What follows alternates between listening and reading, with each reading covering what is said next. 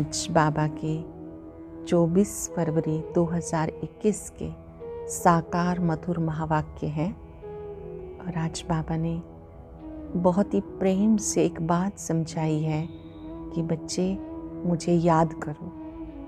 न केवल याद करो, बस मुझे ही प्यार करो, क्योंकि मैं आपको सुखी बनाने के लिए आया हूँ। बाबा ने याद के बारे में समझाते हुए कहा कि जब आप याद करेंगे बाबा को तो आप सदा हर्षित रहेंगे दे अभिमान मिट जाएगा। जब आप याद करेंगे तो आप सदा बाप की याद में रहने से सतो प्रधान बन जाएँगे। बाबा ने कहा, इसमें कोई तकलीफ़ नहीं है। मैं तुम्हारी सारी तकलीफ़ें दूर कर देता हूँ। जब आप किसी से मिलते हो, किसी भी अवसर पर भी मिलते हो तो कान में ये बात बोल दो कि गीता का भगवान स्वयं कहते हैं, मुझे याद करो। बाबा ने कहा, जो बच्चे याद करते हैं, वो दूसरों को भी बहुत रुचि से और प्यार से कहेंगे कि बाबा को याद करो। अंतिम समय में साक्षात्कार होगा कि मैंने बाबा को कितना याद किया। मन का देह अभिमान में आते हो तो भूल जाते हो। और जो बच्चे दिल से याद करते हैं बाबा को तो उनका पापों का बोझा उतरता जाता है। फिर बाबा ने कहा कि आप स्व परिवर्तक आत्माएँ हो। स्वयं का परिवर्तन करने वाला ही विश्व परिवर्तक बन सकता है। आपके सोचने बोलने में जो अंतर है, उसको मिटाना है। इसका अर्थ ये है कि जो भी संकल्पों में, बोल में, कर्म में अयथार्थ चीज़ें हैं, उनको बाबा की याद से मिटा देना है। अपने व्यर्थ को स्वयं समाप्त करना है। तब स्व परिवर्तक स्व विश्व परिवर्तक बनेंगे। फिर बाबा ने कहा लक्की स्टार वो है, जो अनुभूतियों का प्रसाद प्राप्त करते हैं, जिन्हें अनुभव की गिफ्ट प्राप्त है, अर्थात जिन्होंने अच्छे अच्छे अनुभव किए हैं। जैसे बाबा मेरे साथ है। जब हम बाबा को बुलाते हैं, बाबा हाजिर हो जाता है। मैं देह से न्यारी आत्मा हूँ। जितना जितना अनुभूतियाँ करते जाते हैं तो उतना उतना अनुभव बढ़ता जाता है। ऐसे बच्चों को बाबा ने कहा लक्की स्टार सार है मुरली का मीठे बच्चे, तुम मुझे याद करो, प्यार करो, क्योंकि मैं तुम्हें सदा सुखी बनाने आया हूँ। तुम मुझे याद करो, प्यार करो, क्योंकि मैं तुम्हें सदा सुखी बनाने आया हूँ। कुछ ने जिन बच्चों से गफलत होती रहती है, उनके मुख से कौन से बोल स्वतः निकल जाते हैं? जिनसे गफलत होती है, उनके मुख से कौन से बोल निकलते हैं? तकदीर में जो होगा, वो मिल जाएगा। स्वर्ग में तो चले ही जाएँगे। बाबा कहते ये बोल पुरुषार्थी बच्चों के नहीं है। ऊंच मर्तबा पाने का पुरुषार्थ करना है। जब बाबा आए हैं, ऊंच मर्तबा देने तो गफलत मत करो। बाबा ऊंच मर्तबा देने आए हैं तो गफलत नहीं करनी है। केयरलेस नहीं बनना है। गीता, बचपन के दिन भुला ना देना, आज हंसे कल रुला ना देना। ओम शांति। मीठे मीठे रूहानी बच्चों ने गीत की लाइन का अर्थ समझा। अभी जीते जी तुम बेहद के बाप के बने हो। सारा कल्प तो हद के बाप के बने हो। अब सिर्फ़ तुम ब्राह्मण बच्चे बेहद बाप के बने हो। जानते हो बेहद के बाप से हम बेहद का वर्षा ले रहे हैं। अगर बाप को छोड़ा तो बेहद का वर्षा मिल नहीं सकेगा। भले तुम समझाते हो, परंतु थोड़े में तो कोई राज़ी नहीं होता। मनुष्य धन चाहते हैं। धन के सिवाय सुख नहीं हो सकता। धन भी चाहिए, शांति भी चाहिए, निरोगी काया भी चाहिए। तुम बच्चे जानते हो, दुनिया में आज क्या है, कल क्या होना है। विनाश सामने खड़ा है और कोई की बुद्धि में बातें नहीं है।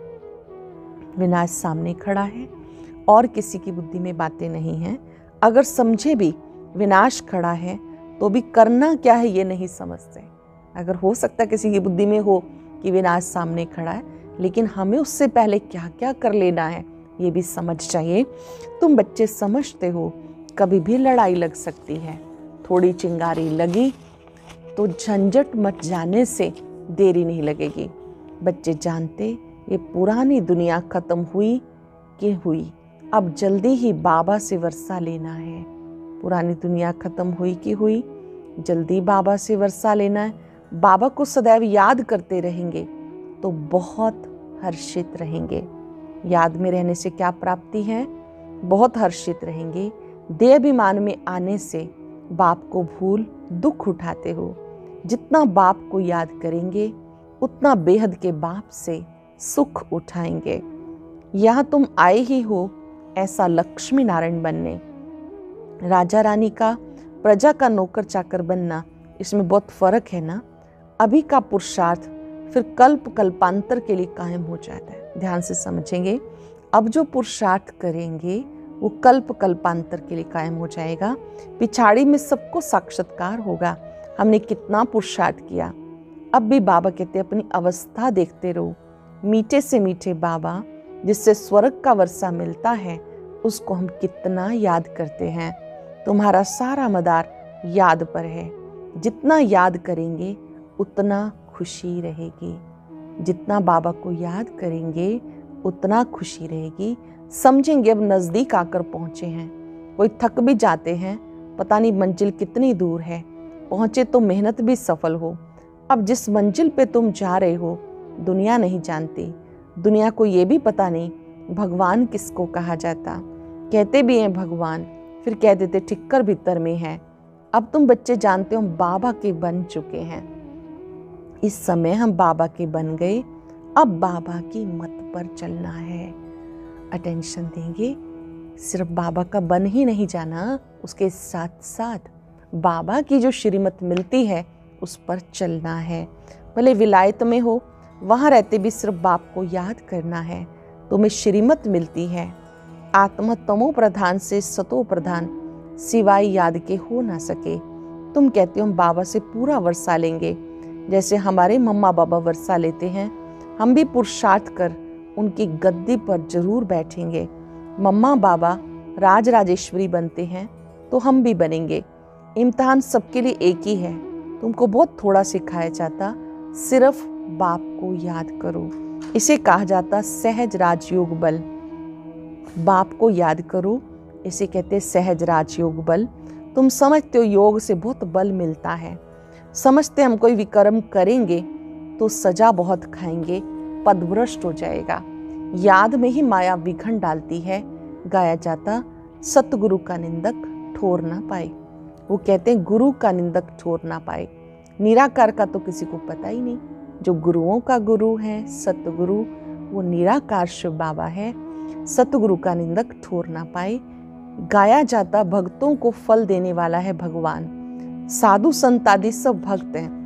भक्त ही गंगा स्नान करने जाते। भक्त भक्तों को फल थोड़ा ही देंगे। भक्त भक्तों को फल दे तो फिर भगवान को याद क्यों करे? ये है ही भक्ति मार्ग। सब भक्त हैं। भक्तों को फल देने वाला भगवान है। ऐसे नहीं कि जास्ती भक्ति करने वाले, थोड़ी भक्ति करने वाले को फल देंगे। नहीं। भक्ति माना भक्ति। रचना रचना को कैसे वर्षा देगी? वर्षा रच्यता से मिलता है। इस समय सब हैं भक्त। जब ज्ञान मिलता है तो भक्ति खुद ब खुद छूट जाती है। जिन्हें ज्ञान समझ में आता है, भक्ति छूट जाती है, ज्ञान जिंदाबाद हो जाता है। ज्ञान बिगड़ सदगति कैसे होगी? सब अपना हिसाब किताब चुक चुकतू कर चले जाते। तो अब तुम बच्चे जानते हो, विनाश सामने खड़ा है। उसके पहले पुरुषार्थ कर बाबा से पूरा वर्षा लेना है। विनाश से पहले बाबा से पूरा वर्षा लेना है। जानते हो, हम पावन दुनिया में जा रहे हैं। जो ब्राह्मण बनेंगे, वही निमित्त बनेंगे। ब्रह्मा मुख वंशावली ब्राह्मण बनने बिगर, ब्राह्मण बनने बिगर ऊंच पद पा नहीं सकेंगे। बाबा ने कहा जब तक आप ब्रह्मा मुख वंशावली ब्राह्मण नहीं बनेंगे, पक्के ब्राह्मण नहीं बनेंगे, तब तक वर्षा नहीं ले सकते। बाप बच्चों को रचते ही हैं वर्षा देने के लिए। शिव बाबा के तुम हैं ही। सृष्टि रचते हैं बच्चों को वर्षा देने के लिए। शरीरधारी को ही वर्षा देंगे। आत्माएँ तो ऊपर में रहती हैं। वहाँ तो वर्षे व प्रालब्ध की बात नहीं। तुम अभी पुरुषार्थ कर प्रालब्ध ले रहे हो, जो दुनिया को पता नहीं। इस समय नज़दीक आता जा रहा है। बॉम्ब्स कोई रखने के लिए नहीं है। तैयारियाँ बहुत हो रही हैं। बाबा फरमान करते मुझे याद करो, नहीं तो पिछाड़ी में रोना पड़ेगा। याद नहीं करेंगे तो रोना पड़ेगा। राज विद्या के इम्तहान में कोई नापास होते हैं तो जाकर डूब मरते हैं गुस्से में। यहाँ गुस्से की बात नहीं। पिछाड़ी में तुम्हें साक्षात्कार बहुत होंगे। क्या क्या हम बनेंगे, वो भी पता चल जाएगा। लास्ट में हम क्या बनने वाले हैं, वो भी पता चल जाएगा। बाप का काम है पुरुषार्थ कराना। बच्चे कहते, बाबा, हम कर्म करते हुए याद करना भूल जाते हैं। कोई फिर कहते, याद करने की फुर्सत नहीं मिलती। बाबा कहते अच्छा समय निकाल कर याद में बैठो। अगर भूल जाते हैं तो बैठ कर अभ्यास करो। स्पेशल समय निकाल कर याद करो। बाप को याद करो। आपस में जब मिलते हो तो ये कोशिश करो कि हम बाबा को याद करें। मिलकर बैठने से तुम याद अच्छा करेंगे, मदद भी मिलेगी। मिलकर बाबा कहते याद का अभ्यास बढ़ाओ। मिलकर बैठने से बाप को याद कर सकेंगे, मदद मिलेगी। मूल बात है बाबा को याद करना। कोई विलायत जाते हैं, वहाँ भी सिर्फ़ एक बात याद रखो। बाप की याद से तुम तमो प्रधान से सतो प्रधान बनेंगे। बाबा कहते, एक बात याद करो, बाप को याद करना है। योग बल से पाप भस्म हो जाएँगे। बाप कहते, मन मना भव। मुझे याद करो तो विश्व का मालिक बनेंगे। मूल बात हो जाती है याद की, कहीं भी जाने की बात नहीं। घर में रहो, सिर्फ़ बाप को याद करो। पवित्र नहीं बनेंगे तो याद नहीं कर सकेंगे। पवित्र बनेंगे तो याद बाबा की बनी रहेगी। ऐसे थोड़ा ही सब आकर क्लास में पढ़ेंगे। मंत्र लिया, फिर भले कहीं भी चले जाओ।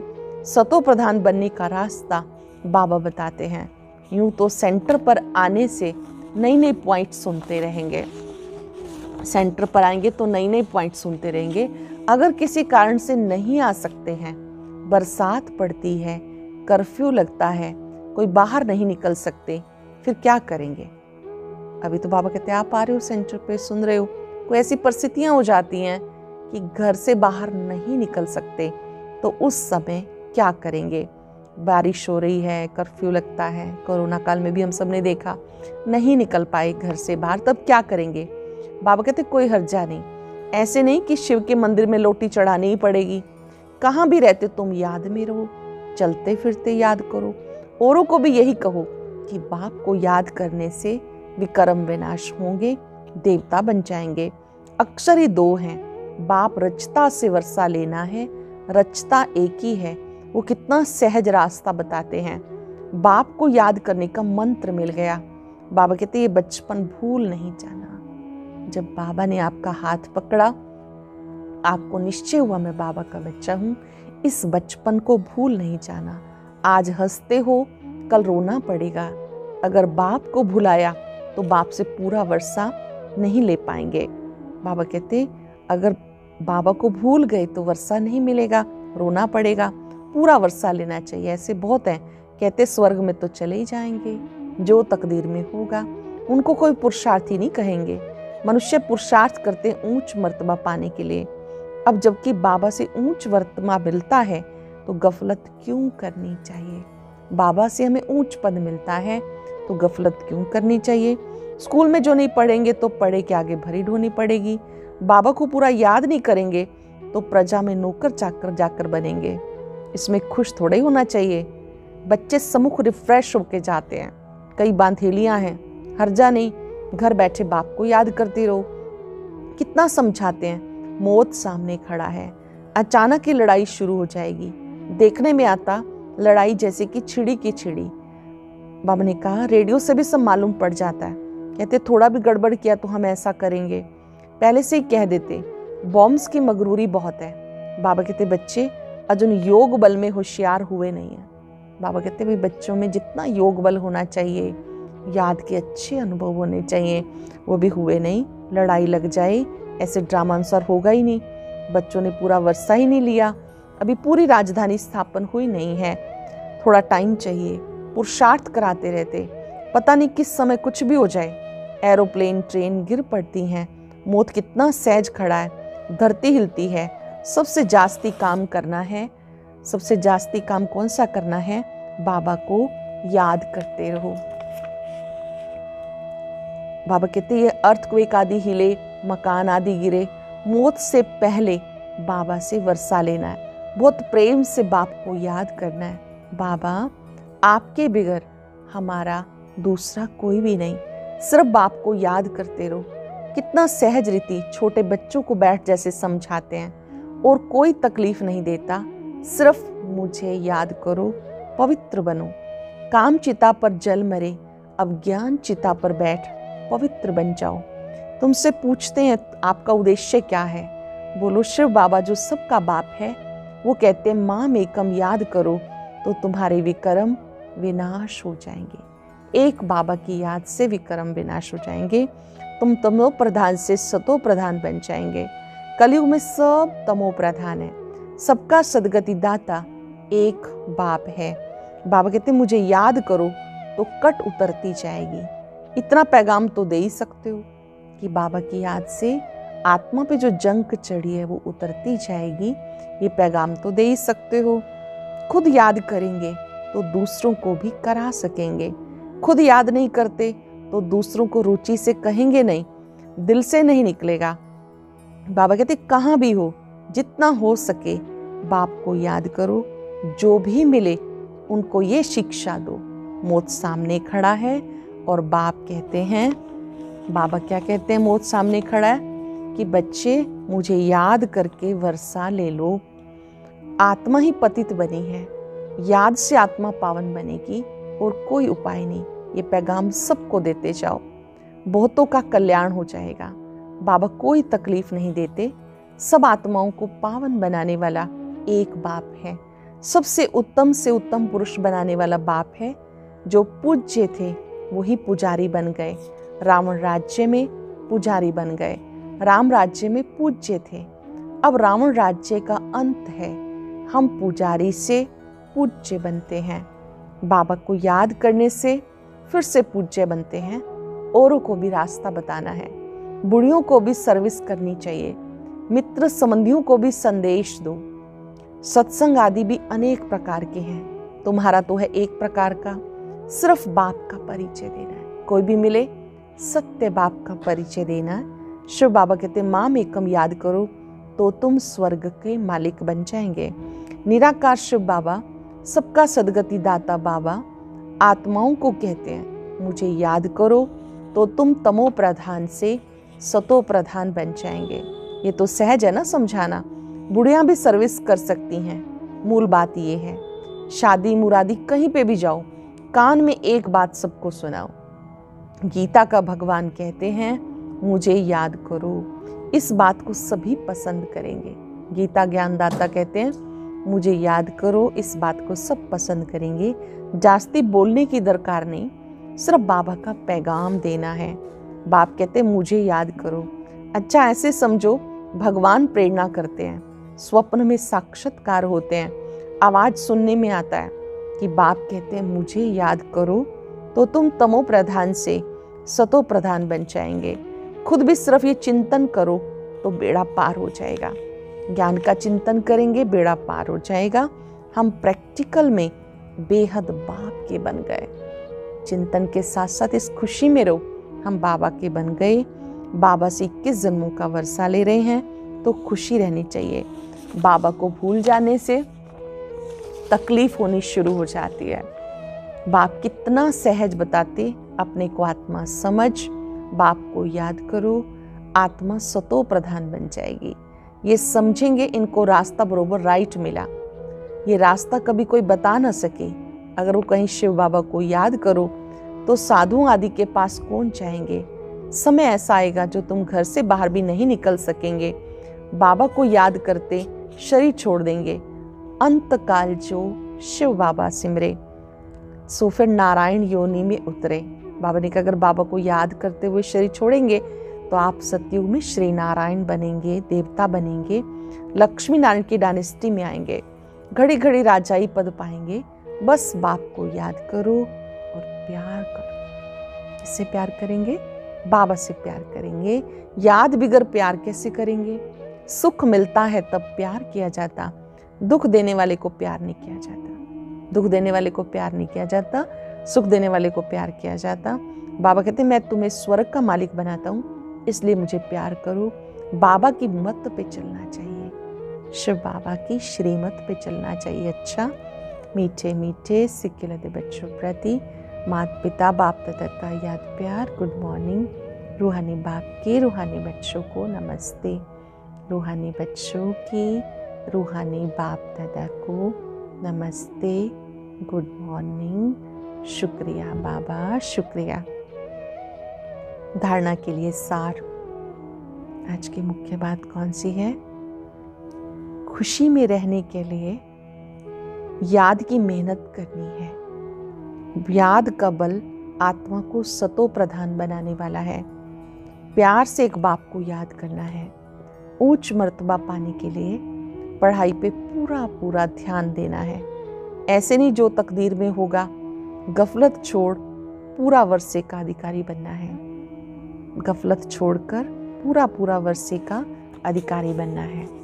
वरदान है, सोचने और करने के अंतर को मिटाने वाले स्व परिवर्तक सो विश्व परिवर्तक भाव, सोचने और करने के अंतर को मिटाने वाले स्व परिवर्तक स्व विश्व परिवर्तक भाव। कोई भी संस्कार, स्वभाव बोल व संपर्क। जो यथार्थ नहीं व्यर्थ है, उस व्यर्थ को परिवर्तन करने की मशीनरी फास्ट करो। सोचा और किया, तब विश्व परिवर्तन की मशीनरी तेज होगी। अभी स्थापना के निमित्त बनी हुई आत्माओं के सोचने और करने में अंतर दिखाई देता है। इस अंतर को मिटाओ, तब स्व परिवर्तक, स्व विश्व परिवर्तक बन सकेंगे। सरल शब्दों में अपने आप को परिवर्तन करने का प्रोजेक्ट सबसे पहले लेना है। जो स्वयं का संकल्प, बोल, कर्म, जो भी अयथार्थ है, उसको मिटा देना है। उसको ठीक कर लेना है। ऐसे को ही स्व परिवर्तक कहते हैं। जो स्वयं के परिवर्तन के लिए तैयार है, वही विश्व परिवर्तक बन सकता है। स्लोगन है सबसे लक्की वो, जिसने अपने जीवन में अनुभूति की गिफ्ट प्राप्त की है। लक्की स्टार कौन? सबसे लक्की वो जिसने अपने जीवन में अनुभूति की गिफ्ट प्राप्त की है। आज हम लक्ष्य लेकर अपनी याद के चार्ट को बढ़ाएँगे। चलते, फिरते, उठते, बैठते याद को अधिक से अधिक महत्व देंगे। एक बाप को याद करना है। इस एक संकल्प को अंडरलाइन कर लेंगे। मुझे बहुत रुचि से, प्यार से एक बाबा को याद करना है। बाबा के स्वरूप को देखते हुए, उनकी पवित्र किरणों को अपने में समाते हुए, बाबा से वायदा करें। मैं आपसे बहुत प्यार करती हूँ। आपको ही याद करूँगी। आपकी याद से मेरा जीवन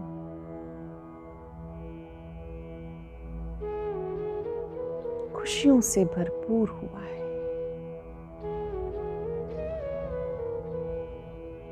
मेरे जीवन की सारी मुश्किलें दूर हुई है।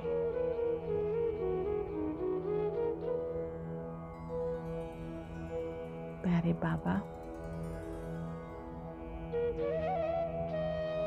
आपका बहुत बहुत शुक्रिया।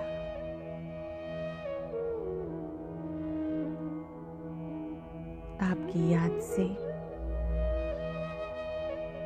मुझे सदा हर्षित रहना है। बस एक को ही याद करना है। जो भी मिले, उसको भी याद दिलाना है। एक बाप